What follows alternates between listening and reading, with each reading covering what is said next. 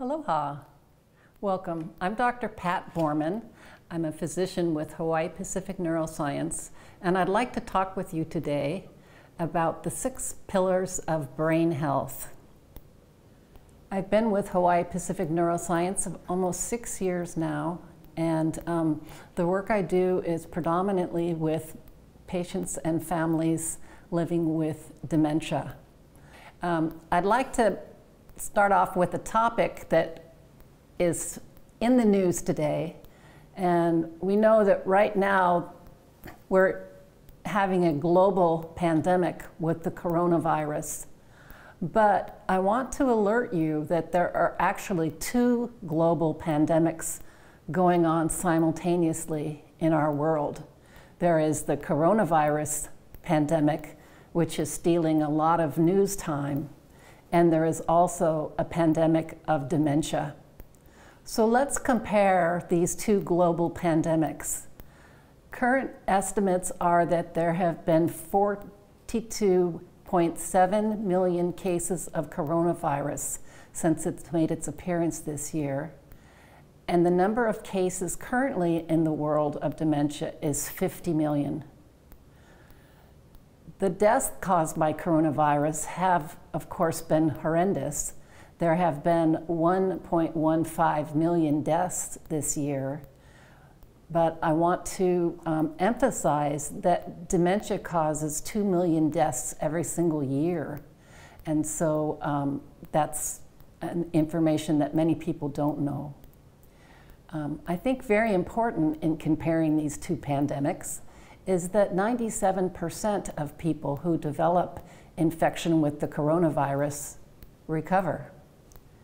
And the sad fact is that there are zero people that recover from dementia. There is no cure, we don't have a way to reverse it, and sadly, it's universally fatal. So economics are another big thing, and I think it's too early to know exactly the economics of the coronavirus pandemic. It's certainly estimated to be in the trillions. Currently, in our global economy, $818 billion is spent each year in the care of those living with dementia. If this wasn't scary enough, I want you to know that dementia has increased by 117% in the last 15 years. And the estimates are if we're not able to do something to intervene, that there will be 82 million cases by 2030 and 152 million cases by 2050. So you can see that this is an incredibly important topic. So with any pandemic, um, prevention is very important. Prevention matters. And of course, there's the adage an ounce of prevention is worth a pound of cure. So we've been hearing a lot during the coronavirus pandemic wash your hands, wear your mask, be sure you're practicing social distancing. Well, today I'd like to talk to you about preventive matters to impact the dementia pandemic. And these are the six pillars of brain health, which we'll get into now. There's new information available that 50% of dementia cases can be prevented or delayed.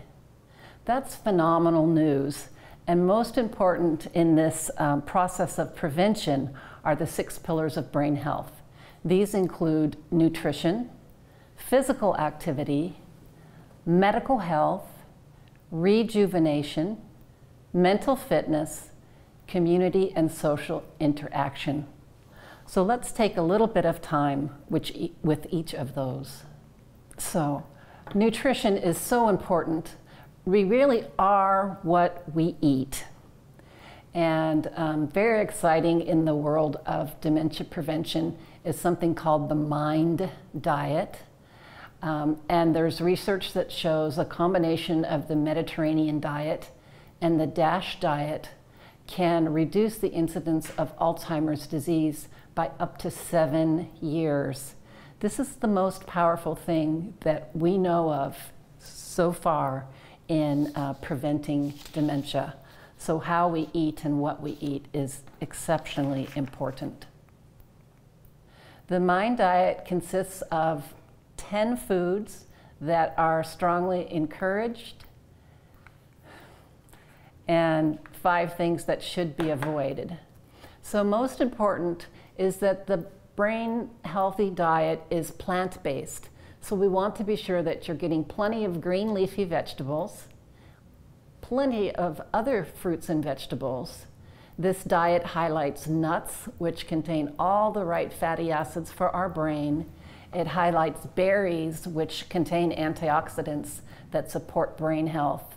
It emphasizes beans and lentils, whole grains, fish and poultry if you're not going to become completely vegetarian. And for any kind of fats or olive oil is recommended. And many people are happy to hear that wine is on the MIND diet, but only one glass per day, please. There are certain things to avoid for brain healthy diet. Red meats and animal products actually create inflammation in the brain, which is not healthy. And so I think of red meats as the four legged animals our beef, pork, and lamb. We want to very much minimize those in our diet. Likewise, butter and margarine are kind of out of favor. Instead, dipping your bread and such in olive oil would be healthier. And cheese is uh, uh also an animal product made from milk, so that should be minimized in the diet. Um, pastries and sweets, much as we might love them, are not really very brain friendly.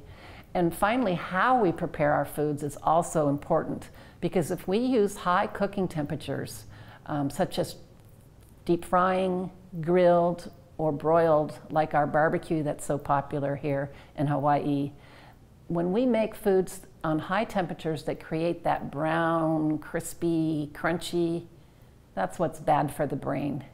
So, um, cooking on lower temperatures, such as saute or stir fry, would be healthier for us. The other part of nutrition that I like to emphasize is hydration. Now, we all need to drink plenty of water. Um, and water is very important because our brain is 75% water. And um, we should each get about eight to 10 glasses of water per day. And certain health conditions can um, influence how much water we need. Um, generally, about 64 ounces or two liters a day should be our goal point. The second pillar of brain health is physical activity. Um, and physical activity has so many benefits for us. It increases quality of life, well being, it can improve our mood and sleep it actually adds energy, benefits our posture, definitely helps brain function, helps concentration and decision making. It also supports health in general by helping us to lose unwanted weight, helps us manage heart disease, cancers, injuries, stress, and depression. So you can see there's just so many positive things about physical activity. I want to remind everybody let's get up and go. The main types of physical exercises that are um, encouraged are aerobic exercise, strength training, balance, and flexibility. The next thing I want to emphasize is the third pillar for health medical awareness. If you have chronic medical conditions, it's very important to take care of them and do the best that you can to control them. This is particularly true for vascular risk factors such as hypertension, diabetes, and high cholesterol levels. Obesity is another thing that's really harmful for um, brain health and our health in general. So if you are overweight, it's never too late to start to bring that um, bad habit down.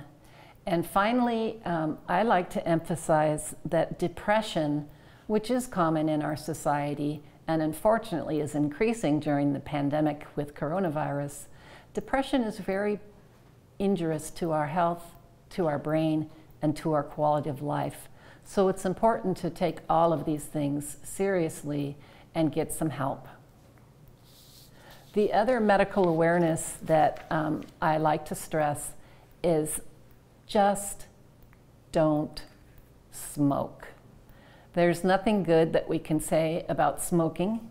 And um, it's interesting that right now, globally, it is our youngest population that is still taking up the habit and um, going forward with cigarette smoking.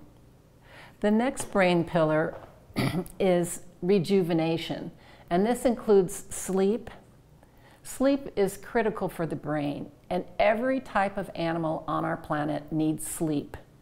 And sleep is a little bit mysterious because we don't know all of the things that we do, but we know that it is restorative, that it enhances learning and memory. Sleeping improves our immune system, our mood, and it is a time that the body can detoxify the brain. There are many things that impact sleep, and if you feel that you're not sleeping well, that's another area of improvement that will serve you for better brain health. The other part of rejuvenation is relaxation. And it's very important that we manage stress, that we stay positive. It's important that we take time to play, to be happy, to have fun. And um, I love the mantra make gratitude your attitude. It's very important for our health and for our brains that we take time off for good behavior. The next pillar of brain health is mental fitness. This has to do with building our brains to have lots of resilience and lots of reserves. The mantra for mental fitness is use it or lose it. We want to be involved in activities that promote adaptation and so we can respond to changes we want to be positive, to stay engaged. It's important to have a life of meaning and fitness. We hope that you can be seeking out accomplishments and build relationships. All of these things have benefits in building stronger brains. The last health pillar that I would like to review has to do with social and community interaction. And we truly are social animals.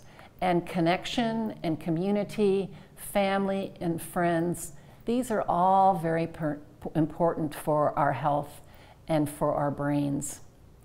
Um, community and social interaction have been severely impacted by the coronavirus pandemic.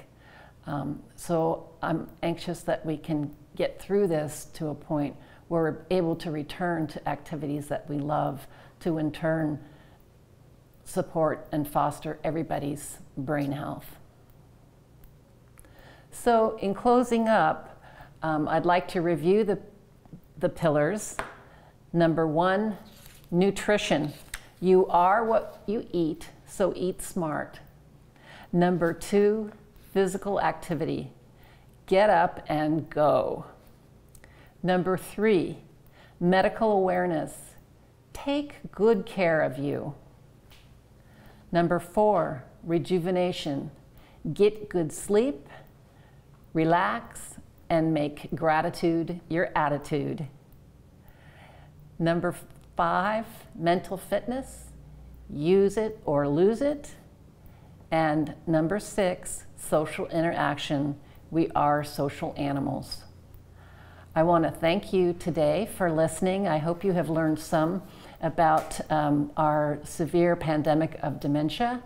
And remember, 50% of cases are preventable, so let's get on it. Thank you so much.